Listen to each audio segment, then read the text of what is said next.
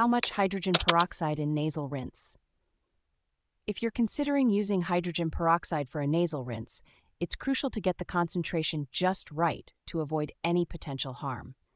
Let's break down the safe and effective way to do this. First, it's important to understand that hydrogen peroxide can be quite harsh if not diluted properly. High concentrations can cause irritation, inflammation, and even burns to the mucous membranes and skin. For a nasal rinse, you need to dilute the hydrogen peroxide significantly. Here's a simple and safe method.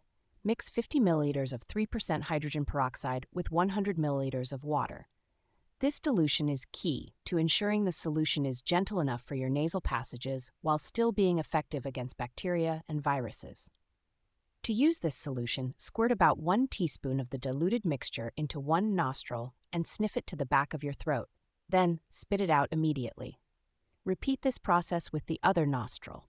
It's recommended to do this nasal rinse twice in each nostril and you can repeat the process two to four times a day for prevention or up to six times a day if you have an acute infection.